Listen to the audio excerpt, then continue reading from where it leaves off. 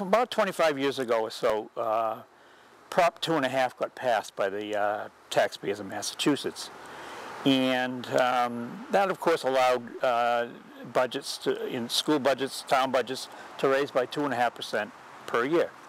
And for the first number of years, it, that seemed to work out fine. The next step was for people to uh, start asking for overrides. The override is an attempt by the schools to do the best they can that's reasonable for the students. Funny, this town thinks to solve a problem, you throw money at it. Well, I think everyone has mixed feelings about the override.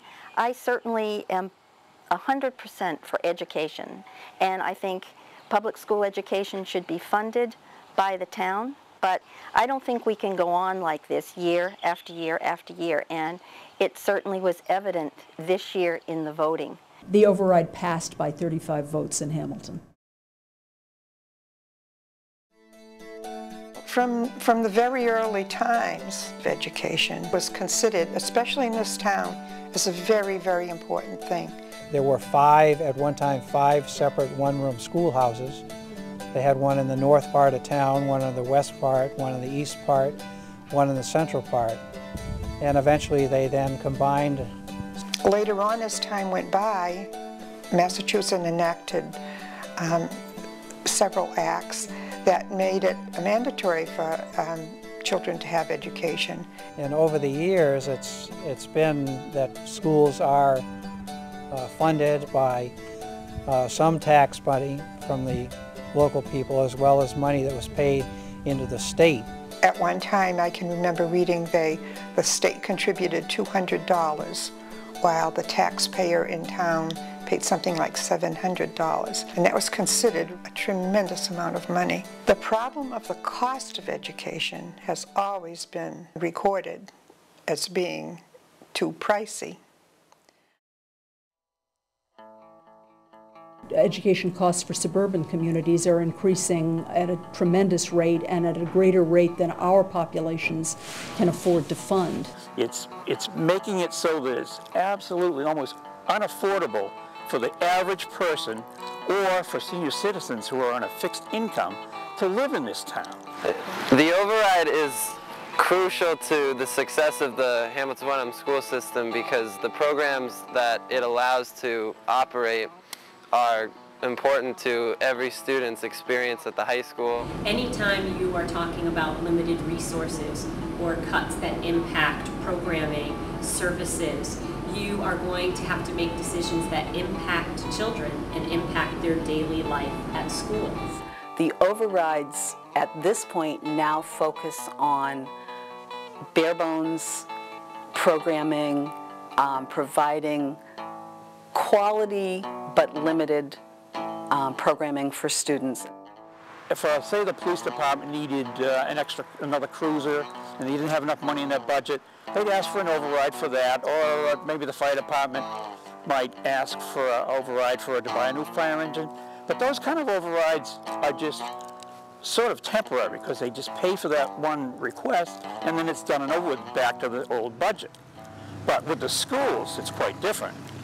When they pass an override, it, it's, it's compounded, if you will. It's, it's there every year. Uh, I get upset when I hear people say, well, I don't have any children in school, and so why should I pay the taxes? And I'm saying, you know, we supported your children when your children were in school. Well, enough is enough was developed because there was a need to have the opposition to the way the budgets are handled. So we formed that group so they could look into these things. People are being hurt. Enough is enough was bound to happen. People were tax tired, and uh, that group finally uh, got some momentum and you know made some uh, movement. Certainly the last 10 or 15 years there's been many overrides for education. But to be fair, what has happened is the government has mandated programs that have not been paid for. And that's made it very, very difficult for everybody. at the federal level, a lot of, you know, like No Child Left Behind, NCLB is a, that's an unfunded mandate. Those are responsibilities that have been sent down from the Bush administration to the states to fund all, all this stuff, but no money is helped, and no money is followed. This problem is uh, found in many communities like ours, uh, you know, residential communities without a large uh, commercial or industrial property tax base. It's a pretty basic problem for Hamilton. Um, they'll solve it if they ever get some industrial base or something like that, but I don't think it's going to happen in a rush because the way the town is set up, um, there is no industrial base, and quite frankly, I can't see very many people wanting to have an industrial base. Well, I think when we hear industry, we think the great big plant that's going to take over Patton Park or some such thing. Um, I prefer to think that we still have possibilities to be more creative. There are certain people in town that want to keep this lovely ambiance that we have and do not want to see the town cluttered with businesses, but uh, there comes a time when it's going to have to happen. In a perfect world, the federal government could do an awful lot more to uh, uh, spend the money where it really needs to be spent for humanity, to help save the world. And it's going to happen eventually because we're coming to a brink where we're either going to spend the money and fix the economy, fix the ecology, right, fix the world that we've broken, or else we're just, I don't think we'll, make it. I think people have all got to work together.